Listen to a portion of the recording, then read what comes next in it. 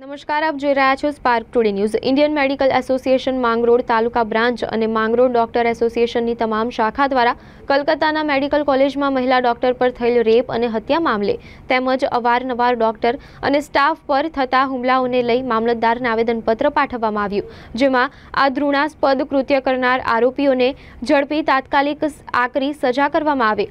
તેમજ ભવિષ્યમાં આવા કોઈ બનાવ ન બને અને ડોક્ટર, હોસ્પિટલ અને સ્ટાફની સલામતી માટે સરકાર દ્વારા ચોક્કસ કાયદો વ્યવસ્થા ઊભી કરવામાં આવે તેવી માંગ કરાઈ હતી. કોલકાતામાં મહિલા ડોક્ટર સાથે થયેલ ધૃણાસ્પદ કૃત્યને લઈ સમગ્ર દેશના ડોક્ટરોમાં રોષ જોવા મળી રહ્યો છે.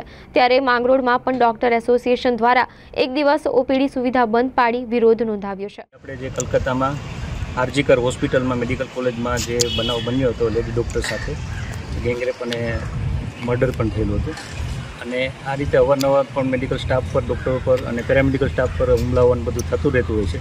તો આના વિરોધમાં Indian Medical Association Mangrol branch તથા માંગરોળ મેડિકલ એસોસિએશનને તમામ શાખાઓ ફેટર્નિટી સાથે Ayush Medical Association Dental Association બધા જોડાય અને આ બાબતમાં સરકારમાં કોઈ સખત કડક પગલાં લેવામાં આવે અને ભવિષ્યમાં આવા બનાવો ન બને, એના માટેનું સિક્યુરિટી અને એના કાયદાકીય પ્રવર્ધન થાય એ માગણી માટે અમે આજે મામદાર સાહેબને આવેદનપત્ર આપેલું છે.